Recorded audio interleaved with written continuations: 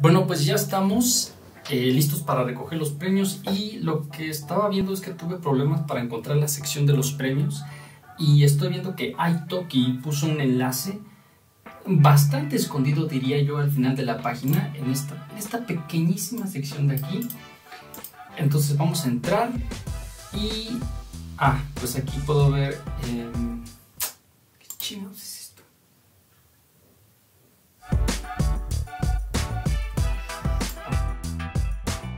Bueno, pues una cosa que me da bastante, se me hace bastante curiosa es que estaba buscando la sección de los premios en la página de iTalki y me doy cuenta que está bastante escondida porque al final de la página pusieron un diminuto enlace que nos lleva a la sección de los premios que es este iTalki Language Challenge.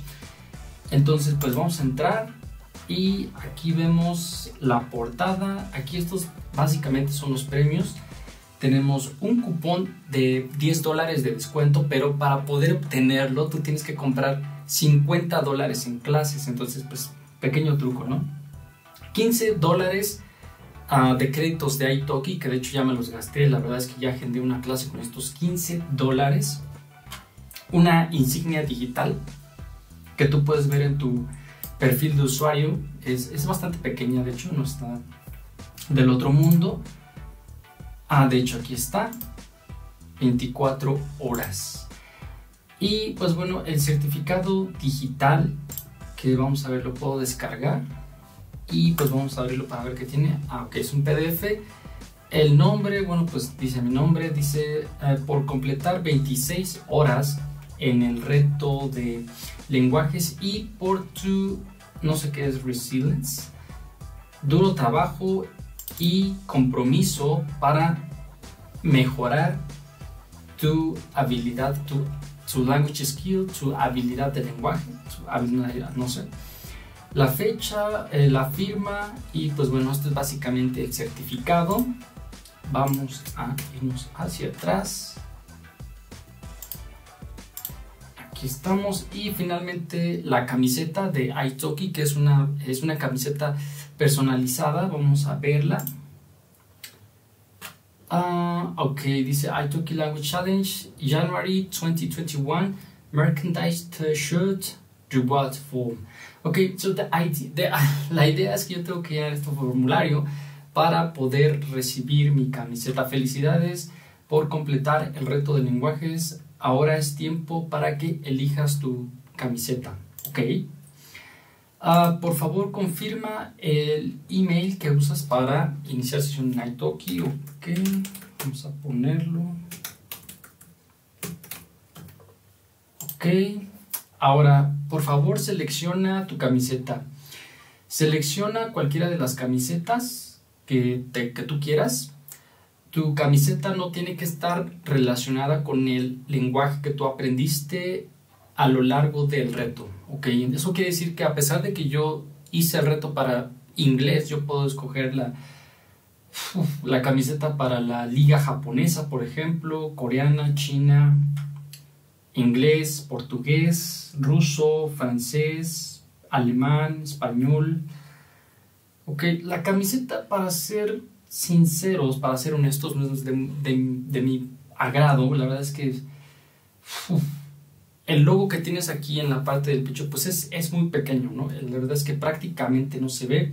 El de la espalda me gusta bastante, es más vistoso y te da una mejor idea de lo que, de lo que se trató el reto, ¿no? Mientras que la parte que está enfrente, la verdad es que no soy muy fan de ella.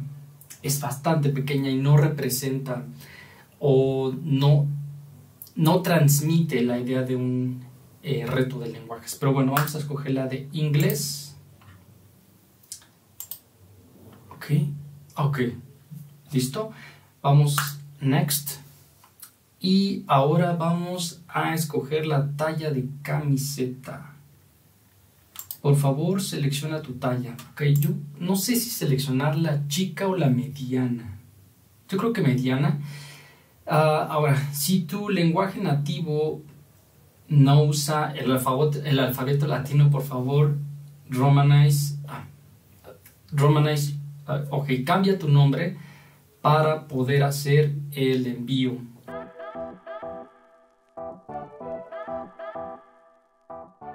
Ok, done. Let's go. Ok, parece que eso fue todo. Si yo me voy otra vez al reto, a la página principal del reto y si veo mi camiseta, ok, me manda a crear eh, pues encuestas, ¿no? Básicamente es extraño, es extraño. Ni siquiera puedo darle un seguimiento al envío de, de, mi camiseta, simplemente me lleva este enlace extraño que yo la verdad no sé. Dice, la encuesta ha sido tomada, ¿ok? Y me manda a crear más encuestas, ¿ok? Creo que no es lo adecuado, pero bueno, aquí está básicamente lo que tú obtienes después de haber comprado 24 horas de clases en Italki. Yo creo que en la parte del certificado, yo creo que es posible cambiar el nombre porque pues, en mí básicamente dice Lalo. Y la verdad es que me gustaría usarlo para ponerlo, por, por ejemplo, en mi perfil de LinkedIn. Yo creo que eso sería buena idea para que también ahí se refleje que, que tomé este, este, este reto. Y pues bueno, aparte de eso, yo creo que estos premios, pues no diría que son insignificantes, pero tal vez Italki podría buscar una manera de darles un poco más de visibilidad y hacer que se noten más. Y digo, es una ayuda también para ellos como plataforma para poder darse a conocer y, y, decirles a las personas que ellos ofrecen estas, estas, todo este tipo de clases de inglés y toda esta dinámica. Pero bueno, pues bueno amigos, eso ha sido todo. 24 horas de inglés en Italki, reto finalizado, estoy muy contento.